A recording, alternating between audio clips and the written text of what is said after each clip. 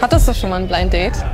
Du? Ist ja jedes Date für mich ein Blind Date. Sehr, sehr, sehr krass. Das ist der Knaller. Ich lebe mit meiner Mutter zusammen. Geht nicht. Ne? Ich bin eher etwas faul. Ich kann nicht. Und Also ich trinke Wein nur gemischt mit Cola.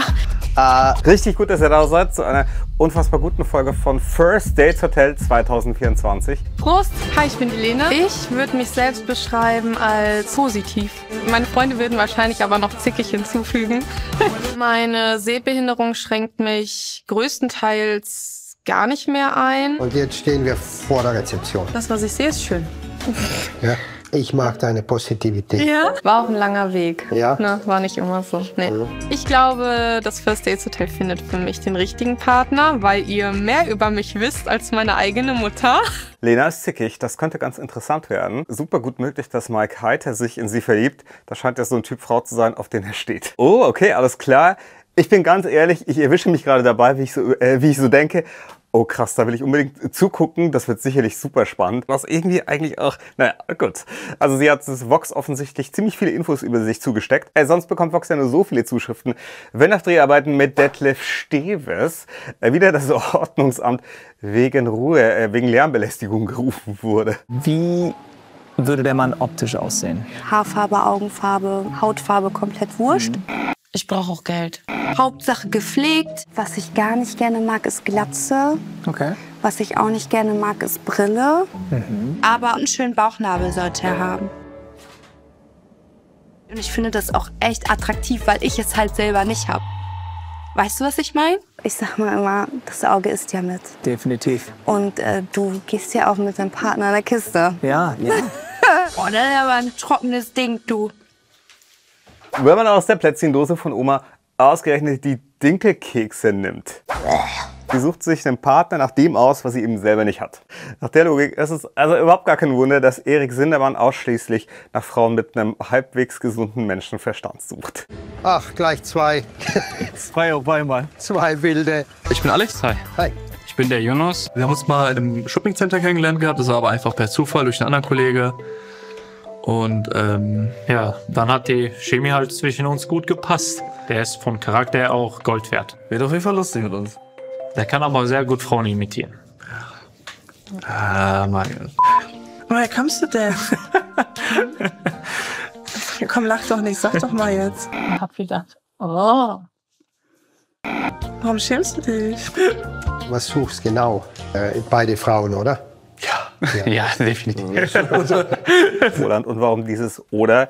Weil nur deutsche, dünne Kartoffeln auf Männer stehen können, oder was? Wie cool ist bitte allein, dass er das macht vor Kameras, ist mega. Die Frage ist jetzt aber natürlich, sag mal, kann er alle Frauen äh, imitieren? Und damit auch Kathi Karrenbauer. Oh oh. Das würde nämlich eigentlich gegen die Berufsehre verstoßen.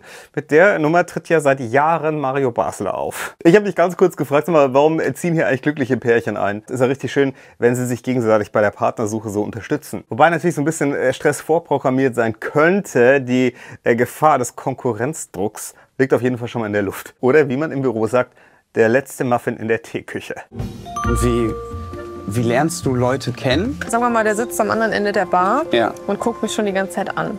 Würde ich niemals mitbekommen. Äh, Spielt denn das Äußere bei dem Gegenüber für dich eine Rolle? Dieses Oberflächliche fällt ja dann komplett weg. Mein Traummann stelle ich mir so vor, positive Ausstrahlung, offen und freundlich. Ich habe gehört, dass du wollte geschminkt werden. Dass du ähm, einmal nur so drüber guckst. Wenn ich mich schminke, dann gucke ich nicht immer, sondern ich fühle. Also ich mähe den dreimal links, dreimal rechts. Dann mache ich meistens auch ein Foto, um zu gucken, ob es gleichmäßig ist. Erstmal riesen Respekt dafür, dass sie mit diesem eingeschränkten Sehvermögen sich so gut schminken kann und das einfach auch so top aussieht. Und wir wissen ja alle, dass es äh, so viele gibt, die eben keine Probleme mit den Augen haben und trotzdem so aussehen wie Harald Glückler nach einer verpfuschten äh, OP. Also auf der einen Seite finde ich es total interessant, wie sie ihren Alltag meistert.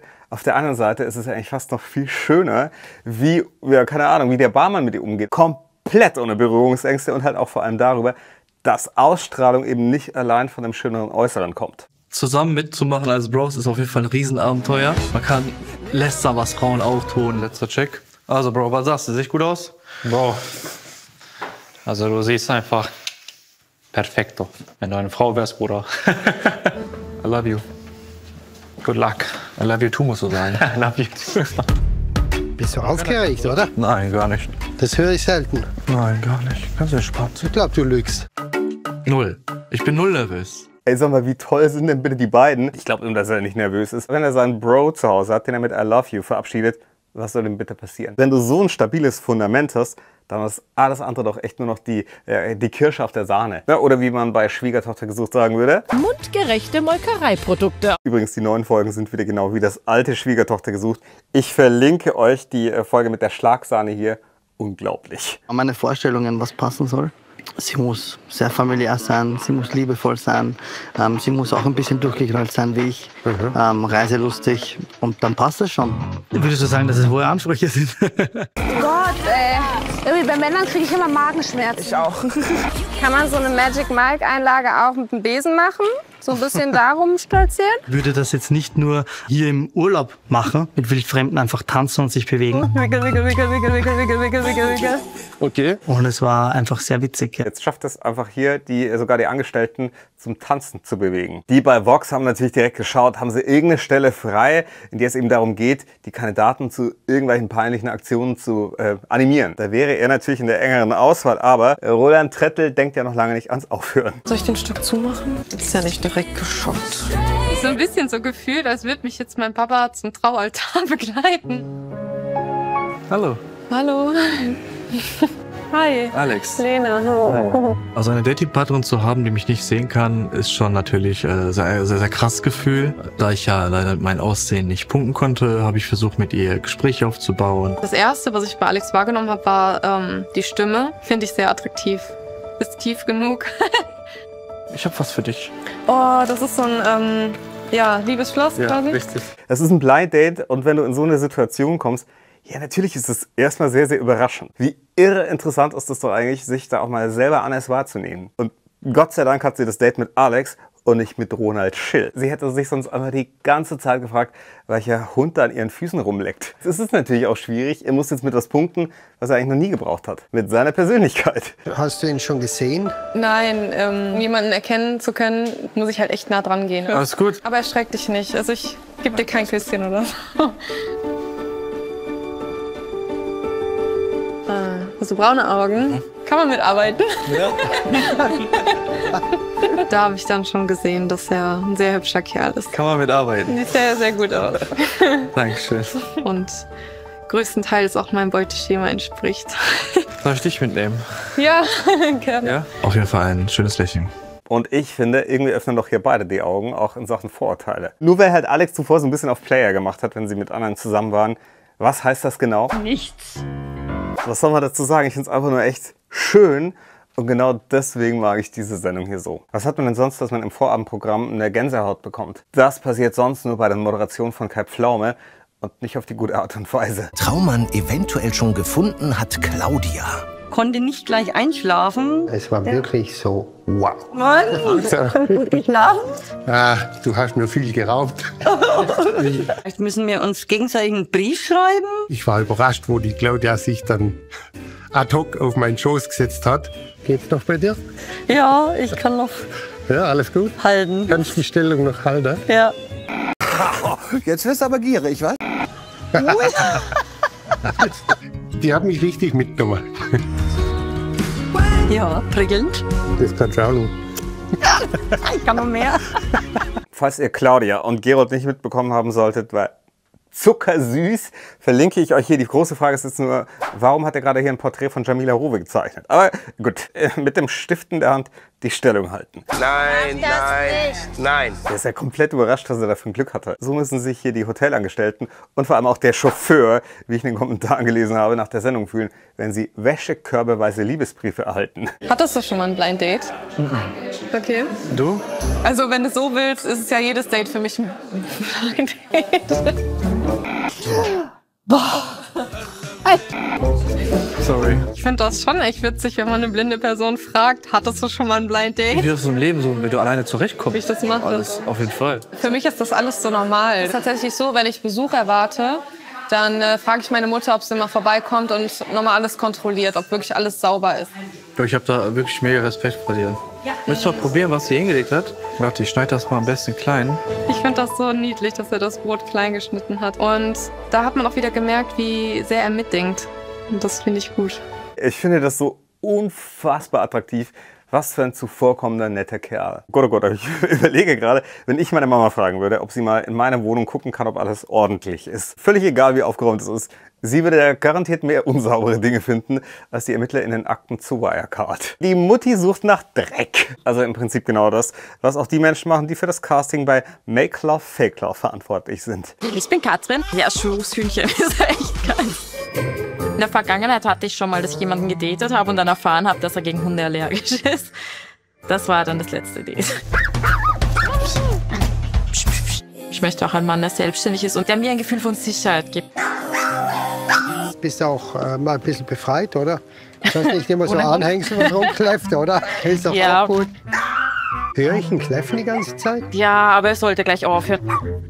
Ey, niedliche, coole Augen, guckt so ein bisschen treu doof und eine kleine Spur zu vorlaut. Aber genug jetzt von Roland Trettel. Der Hund von äh, Katrin ist wirklich richtig süß. Sie hat im Hotel zuvor angefragt, ob das was extra kosten würde. Ähm, sie hat auch felsenfest versprochen, dass der Hund nicht mit im Bett schläft, sondern dass es für ihn ein extra Bettchen gibt. Wird exakt der gleichen Anfrage, fragt auch immer Valentina bei Unterkünften nach, ob ihr Freund Chan bei ihr im Zimmer übernachten darf. Ich mag das nicht so unaufgeräumt, gar nicht. Ich, ich merke so richtig, wenn ich jetzt mal eine Woche lang nicht geschafft habe, den Haushalt zu schmeißen, dann nehme ich mir den Samstag, mache die ganze Wohnung und dann merke ich richtig, wie gut drauf ich bin. Das ist auf jeden Fall ein dickes Pluspunkt. Kannst du dir eigentlich vorstellen, eine Familie zu gründen? Aber da muss man sich echt sicher sein. Ja. Bei Heirat muss man sich wirklich 100 Prozent. Ja. Du kannst nicht nächsten Tag halt sagen, so, nee, geht doch jetzt nicht mehr und so, ne. Sie strahlt sehr viel Freude aus, äh, viel Energie und benimmt sich einfach ganz normal, als wäre sie eine junge Frau ohne Beeinträchtigung.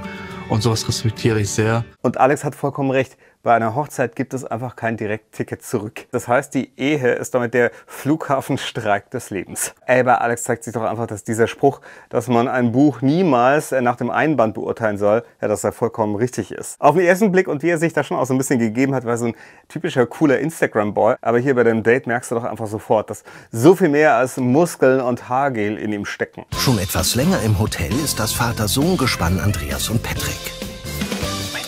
Ich habe nur das Gesicht gesehen, habe wieder, oh, attraktive Frau. Alles unter 23 Grad Wassertemperatur ist für mich ja eigentlich schon. Ich bin ein absoluter Warmduscher im wahrsten Sinne des Wortes. Oh, jetzt hast du mich aber angespritzt. Na sowas. Das war einfach nur Wahnsinn. Danke. Ich weiß ehrlich gesagt nicht, ob ich mit Max geflirtet habe, möglicherweise. Ich bin sehr kompliziert, glaube ich.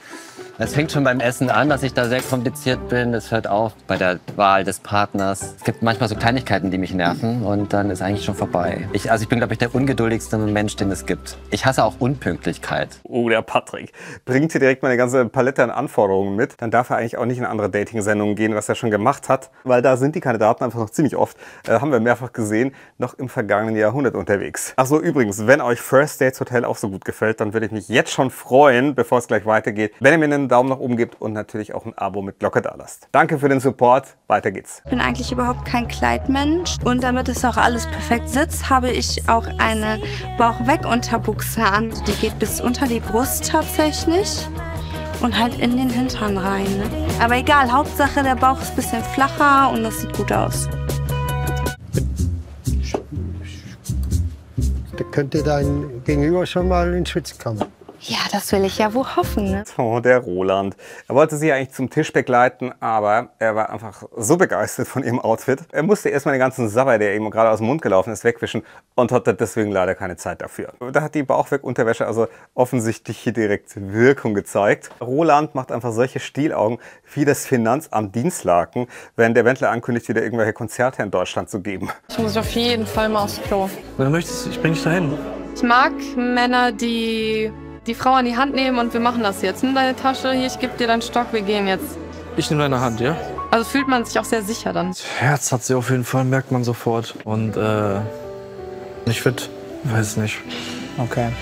Also ich hätte mir ein zweites Date mit der Lena gut vorstellen können, weil sie vom Charakter her, von der Art ist und äh, von der Denkensart so wie ich bin. Nur halt durch ihre Sehbehinderung, das wird mich selber, mh, ja, wie soll ich das sagen, ähm, mitnehmen, weil es beschäftigt mich eh schon die ganze Zeit und äh, Alex fand das Date toll, hat aber einfach Bedenken aufgrund ihrer Sehbeeinträchtigung. Er ist ehrlich, das macht was mit ihm und ich finde es auch gut, dass er ihr jetzt nicht einfach die Hoffnung macht und sie dann abserviert, wenn die Kameras aus sind. Wenn wir uns alle mal an die eigene Nase fassen, wahrscheinlich wird es vielen auch in so einer Situation ähnlich gehen. Und Leute, wenn sie so ist wie Alex, nun weiblich, dann wird sich Yunus ja in Lichtgeschwindigkeit auf sie stürzen.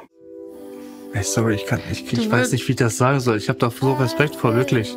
Ich kenne so die Situation. Ich sage mir wirklich nicht böse. Nein, alles gut. Ich habe da so alles Respekt gut. vor und äh, Vielleicht würdest du damit nicht so gut umgehen können und weißt das schon und würdest das mir zuliebe dann nicht machen. So. Ich werde richtig weinen, das werdet du sehen. Aber was soll ich machen? Würde ich das jetzt verstehen. Hätte mich sehr gerne nochmal mit dir getroffen. Also ich glaube, ich sehe das ähnlich wie du. Ich hätte dich aber trotzdem gerne wieder gesehen. Das schon, ja. Jetzt probiert sie ihm auch noch das schlechte Gewissen zu nehmen. Und machen wir uns nichts vor, Ablehnung findet nie irgendjemand schön. Und sie hat vorhin ja auch gesagt, das hat eine ganze Weile gedauert, dass sie überhaupt so positiv an alles rangehen kann. Das kann ich komplett nachvollziehen. Deswegen, also Lena, ganz, ganz großen Respekt. Seit gestern mache ich nichts anderes mehr. Vorbei! Ja, nee. Wen hast du schon kennengelernt? Den, der strippt. Man sagt ja, äh, gute Tänzer sind gut im Bett. Was denkst du jetzt von mir, wenn du gesehen hast, wie ich den Hula-Hoop-Reifen? So beschissen kann ich gar nicht sein, ja? Laut seiner eigenen Aussage, ne?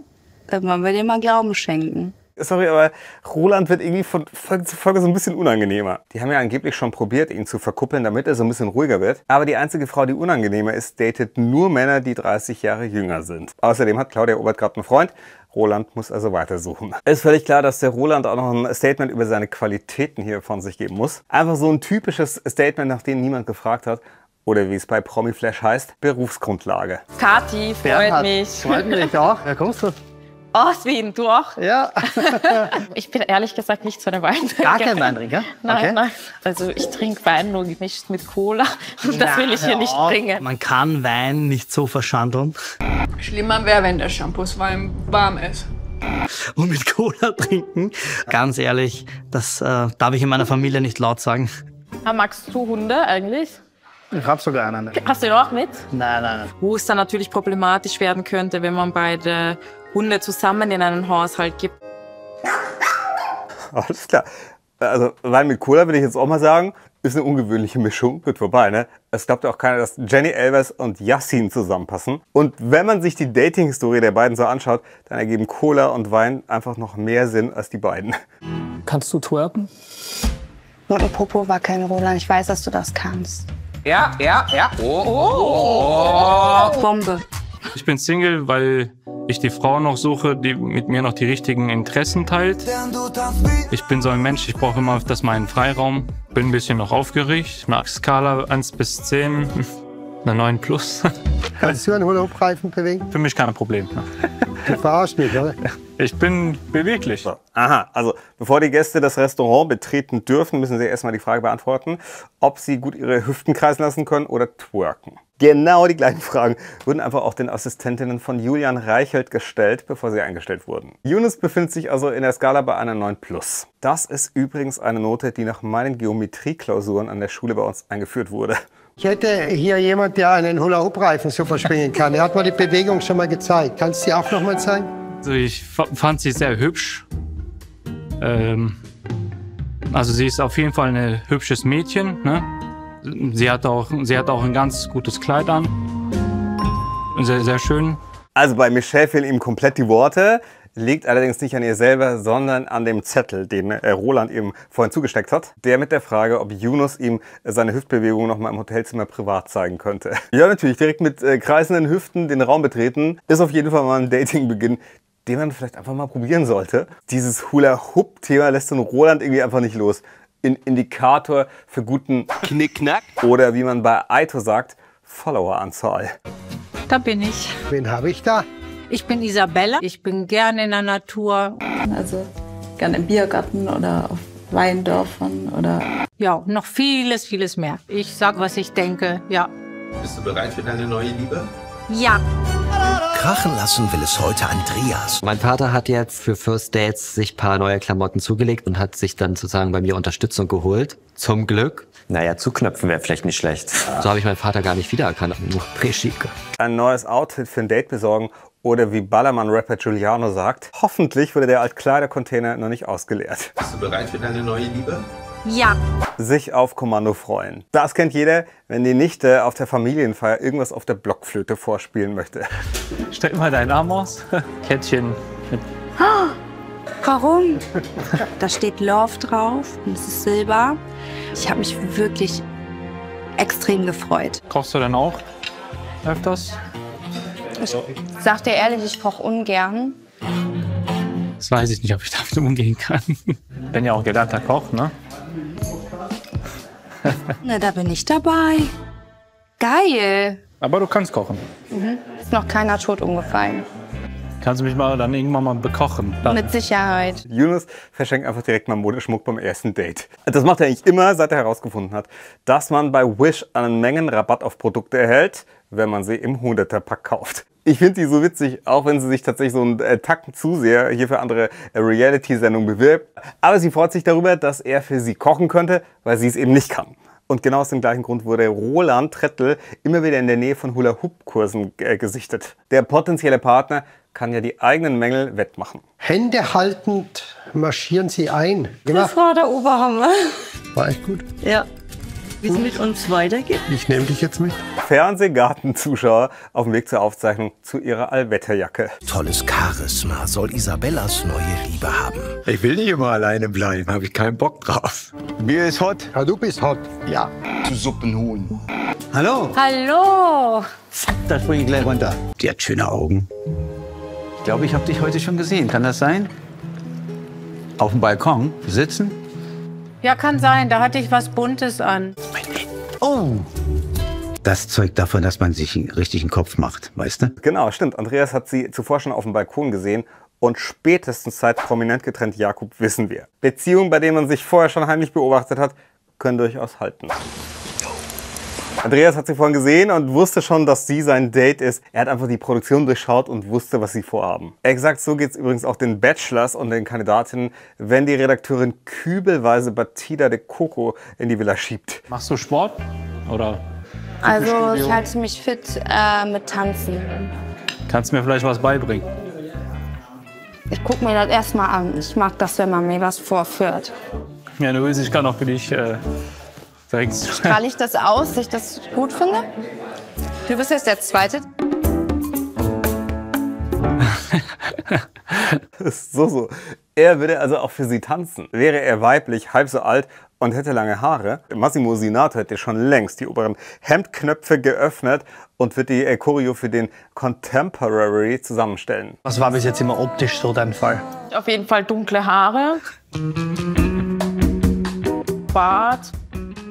Einfach Zimmernummer draufschreiben. Darf dich einladen, ja. Das ist ja lieb, danke schön. Was war deine Zimmernummer? Der Abend ist vergangen wie zehn Minuten. Es ist so, dass ich gestern am Abend ähm, Michelle kennengelernt habe und da empfand ich einen sehr starken emotionalen Vibe. Mir persönlich hat ein bisschen so diese Schmetterlinge im Bauch gefehlt. Du wirst lachen, ich habe genau das Gleiche Okay, gedacht. perfekt, sehr gut. Hatten wir schon in den vorherigen Folgen gesehen, ganz oft finden die Kandidaten hier andere Menschen, die einfach noch besser zu ihnen passen als die eigentlichen Dates. Ey, das machen die hier bei Vox schon echt ganz schön perfide. Also die Planung, wer wo wann sein Date hat und dass die anderen das dann auch mitbekommen. Und jetzt sieht halt der Bernhard die Michelle und empfindet genau das Gleiche wie ich, wenn ich auf dem Weg ins Fitnessstudio meine Couch sehe. Man sieht sofort, wofür das Herz eigentlich schlägt. Und? Das macht mich richtig glücklich. Das ist die Schale. Da ist die Schale. Ja, ja, du musst nur die Dinger nehmen. Ich habe die einfach mitgegessen. Du lebst alleine. Ich lebe mit meiner Mutter zusammen. Okay. Warum? Ja, sie ist nicht mal so fit. So weißt du, und ich unterstütze sie. Finde ich aber Ja. gut. Guter Sohn. Ja. Ich glaube, ich würde mich auch um meine Mama kümmern, natürlich, aber ich würde nie wieder mit ihr zusammen wohnen. Geht nicht, ne? Mhm. Was ist deine größte Schwäche? Ich bin eher etwas faul. Oh, schön, jetzt wird's gemütlich. Faul? Er hat nicht ernsthaft die Schale von der Ananas gegessen. Also, aber immerhin, Er isst die Schale nur und er trinkt nicht aus einer. Das können wir ja auch. Und Maurice hat damals für die Schale ja auch ordentlich Häme abbekommen. Aber woraus soll er denn bitte seine Kohle auch trinken? Aus dem Nudelsieb ist hier auch immer sofort rausgelaufen. Dass er sich um seine Mama kümmert, das ist super. Für Michelle ist es aber irgendwie trotzdem so ein Abturner, dass er bei ihr wohnt. Die Mama ist einfach ein bisschen zu präsent im Leben. Daniela Katzenberger fühlt das irgendwie sehr. Was machst du so? Ich verreise gerne. Schön. Scheint keine ängstliche Frau zu sein. Also man muss da auch schon ein bisschen, ja, Hintern in der Hose haben. Wie hast du Kinder? Ich habe einen Sohn, der ist auch hier. Jetzt ist mein Traum wahr geworden. Nein. An der Poolbar zu sitzen und von dir ein Ah, Getränk gemixt zu bekommen. Ich durfte tatsächlich auch äh, die Datingpartnerin von deinem Vater kennenlernen. Ich bin ja von Natur aus ein sehr neugieriger Mensch. So Stillstand war da nicht. Isabella ist eine mutige Frau, weil sie einfach auch gerne allein auf Reisen geht. Irgendwie stimmt das eigentlich für alle Menschen, die mit dem Flixbus oder mit dem Flixtrain verreisen. Ist kein Scheiß. Ich bin nach Berlin gefahren. Der Zug musste irgendwo anhalten. Dann hieß es, hier geht mal alle eine halbe Stunde raus. Dauert eine Weile. Es gab Probleme auf den Gleisen. Und dann fünf Minuten später hieß es, hier, alle wieder zurückkommen. Es geht weiter. Dann habe ich nachher die Zugbegleiterin gefragt, sag mal, ihr habt doch gesagt eine halbe Stunde. Was ist, wenn jetzt irgendwelche Leute fehlen? Dann meinte die, es fehlen ja nur zwei Leute. Ist doch ein guter Schnitt. So, was? Das ganze Gepäck war da im Zug und die sind jetzt einfach irgendwo so mitten in der Pampa in einem Kuhnest, weil der Zug da außerplanmäßig halten musste. Also unfassbar, oder? Also dein Zimmer sieht aus wie Sau. Ja, mein Mama. Zimmer sieht aus wie Sau. Du könntest da jetzt keine Frau hin einladen. Nein. Wo soll ich denn da hin? Sorry, aber das, das, ich kann nicht. Ich finde, ich hätte es ja nicht sagen sollen. Muss ich sagen, dass ich auch ehrlich war. So, und ich habe dann einmal die Rechnung für Okay. euch. Glaube ich, dass wir ähm, nicht auf dem gleichen Level sind. Ich bin 30 und ähm, ich möchte leider nicht bei jemandem im unaufgeräumten Zimmer sitzen. bei der Mama Der Funk hat noch nicht so ganz gereicht. hat einfach nicht gepasst. Dass er sich um seine Mama kümmert, das finde ich richtig toll. Aber das hier, Jonas hat also einen Saustall und ist einsame Spitze im Wettmelken. Aus der Reihe Sätze, die wir bei Bauer sucht Frau zumindest mal einigermaßen okay finden. Aber hier, äh, Jonas war ehrlich, aber manchmal muss man vielleicht so ein bisschen aufpassen, wie viele ehrliche Fakten man einfach direkt zu Beginn raushaut. Du gehst ja irgendwie auch nicht in ein Vorstellungsgespräch und berichtest, dass du während der Arbeitszeit den Candy Crush Rekord der gesamten Belegschaft hier eingestellt hast. Bist du braun? Warst du schon im Urlaub? Ich bin halb Italienerin. Italienische Frauen, die haben Stil. so einen leichten Touch von Vertrautheit. So, wollte ich dir vorhin schon sagen. Guck mal, ich gebe dir das mal für deinen Sohn. Bringt ihm vielleicht auch noch Glück. Das finde ich so gut. Das sagt mir schon, dass sie so Interesse hat auch an meinem Sohn. Ich würde gerne ein, ein zweites Date wollen. Mir fehlte noch so ein bisschen das, das Gefühl. Ich möchte auch gern ein zweites Date. Guck mal, wie cool ist denn der Andreas bitte? Da hat er gerade noch mal so sein zweites Date bekommen. Isabella will schauen, ob sich da gefühlstechnisch noch irgendwas regt. Übrigens, für genau das Gefühl muss Dieter Bohlen in der DSDS-Jury Teilnehmer einfach beleidigen. Ich weiß nicht, wie es euch geht, ich fühl's nicht. Er ist irgendwie so warmherzig und sie so ein bisschen reservierter zumindest, oder? Das mit dem Geschenk finde ich richtig toll. Das ist auf jeden Fall eins, was für so einen Aha-Effekt sorgt. Kann man erstmal gar nicht so glauben. Also wie wenn junge Liberale erfahren, dass ein Mercedes CL500 überhaupt gar kein gewöhnliches Geschenk zum Abitur ist. Das Date war sehr angenehm. Ja, sie möchte wie eine Prinzessin behandelt werden. Da bin ich raus. Sehr spannend gewesen. Sie hat wirklich ein sehr, sehr großes Herz, sehr, sehr offen, sehr lustig. Ja, es gibt halt nur einen Haken. Sie ist blind. Also sie ist, sie kann nicht sehen. Das ging mir echt nah so, das ist schon echt heftig. Oder normal. Das ist richtig cool. Und man heult wegen so Kleinigkeiten, weißt du? Oh, wir haben Kopfschmerz, wir haben Fieber oder sonst was. Gerade wir Männer, da liegen wir eine Woche flach oder sonst was. Sie redet darüber, als wäre nichts, weißt du? Sie ist einfach eine Kämpferin. Auch wenn nichts daraus geworden ist, ist auch super, äh, dass er sagt, sie hätte ihn zu einer neuen Sichtweise angeregt. Aber auch Yunus hat ja auch durch sein Date was gelernt, nämlich nie wieder über sein unaufgeräumtes Kinderzimmer sprechen. Ah, okay, also Yunus behauptet hier, es wäre nichts geworden, weil sie zu hohe Ansprüche hätte. Ja, herzlichen Glückwunsch. Also, wenn es schon ein zu hoher Anspruch ist, dass die Partnerin einfach keinen Bock drauf hat, in einem unaufgeräumten Zimmer rumzusitzen, also, weiß ich jetzt auch nicht. Ich bin der Michael. Ich war früher Artist, habe mich dann aber wirklich für den fürs Backen entschieden, weil mir das doch einen Ticken noch mehr gefällt. Tutti, backst du eigentlich nur gern Kuchen oder isst du auch gern Kuchen? Ich tue auch gerne Kuchen essen. Ich war im ersten Moment extrem schockiert. Ist ein Mann oder Frau heiraten? Erdmann. Sofort hin und weg bin ich tatsächlich, wenn er richtig schöne Hände hat. Ein Bart hat und auch Haare. Das letzte Mal, dass jemand so eine dramatische berufliche Neuorientierung gemacht hat, das war, als Ralf Schumacher seinen äh, Job als Rennfahrer an Nagel gehängt hat. Und jetzt zieht er ja lieber den Leuten mit der Wir kaufen dein Auto Werbung die Kohle aus der Tasche. Jetzt gucken wir mal, was aus den Dates geworden ist. Ja, Alex und ich sind ja dann mit Yunus zusammen auch dann wieder nach Deutschland geflogen und es ist so eine, ach, es ist einfach so cool. Das sind wirklich zwei herzensgute Menschen, auch wenn es mit uns nicht geklappt hat. Von dieser Stelle aus Grüße an euch. Und jetzt schaut mal, wer bei mir ist. Hallo ihr Lieben. Ja, servus. Wir haben uns am Flughafen einfach wieder getroffen. Ja, Michelle konnte dem Wiener Schmäh einfach nicht widerstehen. Seine Tanzanlage scheint ja ordentlich hier Eindruck äh, gemacht zu haben. Richtig überzeugt war sie allerdings dann erst nach seiner dreistündigen Hula-Hoop-Session. Bist du denn auch ein bisschen stur? Das kann für einige Männer manchmal ein bisschen anstrengend sein. Ihr seid zu zweit. Wir sind Geschwister. Wenn das Gefühl aufgeht, was ich gerade habe, dann wird es eines der Traumpaare. Really? Okay, alles klar. Eines der vielversprechendsten Dates steht bevor. Oder wie Mike Heiter sagt, normaler Mittwochnachmittag. In kommender Woche geht es also wieder darum, wer findet die große Liebe oder wer geht nach Hause und das Einzige, was man mitnimmt, sind die unangenehmen Kommentare von Roland Trittel. Wollen wir natürlich nicht verpassen, deswegen unbedingt jetzt ein Abo mit Glocke da lassen. Daumen nach oben wäre toll und ich weiß, viele aus der Hardcore-Trash-Bubble mögen es nicht. Deswegen holt euer Handy raus und teilt das Video mit einem über WhatsApp, wo ihr sagt hier, der Person könnte es auch gefallen, wäre mega. Die ganzen Folgen gibt es alle auf RTL Plus.